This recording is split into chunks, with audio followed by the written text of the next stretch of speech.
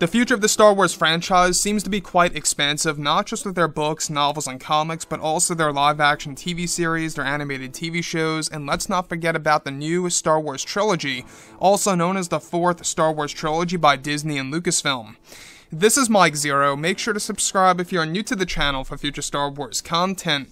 Now, the one thing about Disney Star Wars is that we do know that as of right now, they are trying their absolute best, Disney of course, to really reunite the fans around the world.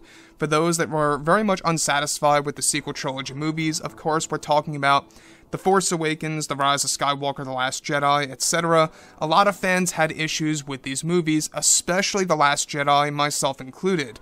Now, if you guys have been following me for quite some time, you will know that The Last Jedi, at least in my book, is, you know, a very uh, poorly written Star Wars film to say the least. And when we look at The Rise of Skywalker, you know, I feel like it's on and off of that as well. So when we look at everything related to Disney and Lucasfilm and what they've been trying to do with The Rise of Skywalker, I really thought it was like a movie where you like some scenes and you hate some scenes here and there. But looking ahead to the future here, the new Star Wars universe, what's really exciting about all of this is, of course, George Lucas and his involvement in, of course, this new expanded universe that's going to really include movies, TV shows, books, novels, comics, you name it, all of which we will be covering over here. Now, what's really intriguing about all of this is that, of course, now that both Disney and Lucasfilm are finished with The Rise of Skywalker, they are moving on to their new Star Wars universe as well as their new Star Wars trilogy of films, where it's noted that currently both Disney and Lucasfilm are developing multiple ways in order to reunite the fans around the world. It's noted that currently the new Disney CEO, Bob Chapek, has been making many changes over at Lucasfilm in order to ensure the Star Wars brand will become as successful as it can be throughout this entire decade. Now, it's noted that currently Disney has multiple projects in the works, however, it's explained that Bob Chapek has allowed creator George Lucas to take over the new Star Wars universe and that George Lucas is set to make many retcons of The Last Jedi alongside Dave Filoni. Now, it's further explained that George is set to overwrite many of Rian Johnson's ideas for his planned new Star Wars trilogy, as well, and that George Lucas is actually said to have a major role in having creative choices over how the new universe will be laid out for the Star Wars fans around the world.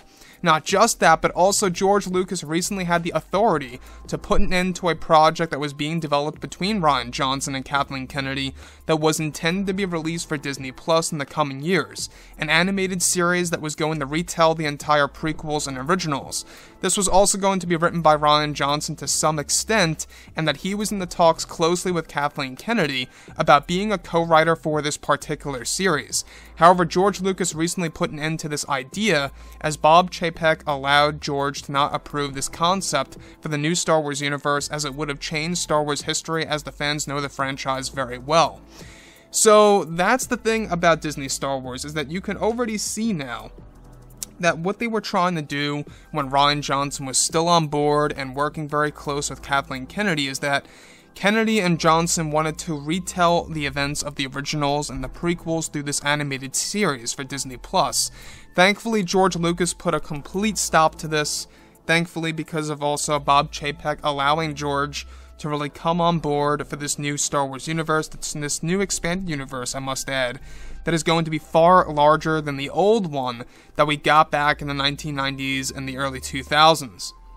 The thing that really does interest me the most about this is the fact that George is also going to be responsible for working very closely with Jon Favreau and Dave Filoni for many of the retcons of The Last Jedi, and that George is going to be the person who will approve those ideas. So George is really the major player here of approving concepts now for the new Star Wars universe as long as he's alive, essentially. And I think that's a really good, you know, uh, step in the right direction. I really do believe that. Because if you look at the expanded universe, sure, there were some crazy things embedded in there, I'm not going to deny that, but there were a lot of concepts in the EU, I'm talking about the old EU, where uh, a lot of stories were just very well written. I mean, let's not forget about Heir to the Empire, right? Or Shadows of the Empire, or all those different stories right? Or Dark Empire. All these different stories are just gold. And that just tells us, you know, how George Lucas at the time really knew what worked and what didn't. And I think that's one of the main reasons as to why the sequel trilogy movies just feel a little off is because George did not have the ability to approve specific concepts. Some of you out there may disagree with me and say the sequel trilogy is, you know, pretty much all fine, but in my opinion, it's got a lot of flaws. Uh, that's not to say that The Force Awakens is an absolute train wreck of a film. I don't believe it is, but it is a movie that has a lot of flaws because of how much it copied from A New Hope. And that movie, in and on itself, was still entertaining to me because it really left open the doors, left open the possibilities of what we would have really expected to see in The Last Jedi or The Rise of Skywalker at the time, right? So anyways, guys, drop a comment below. Let me know think about all this in the comments. And if you guys did enjoy the content for today, do make sure to drop a thumbs up on this video to support the channel. I thank you all so very much for the kind support, and I'll catch you guys next time.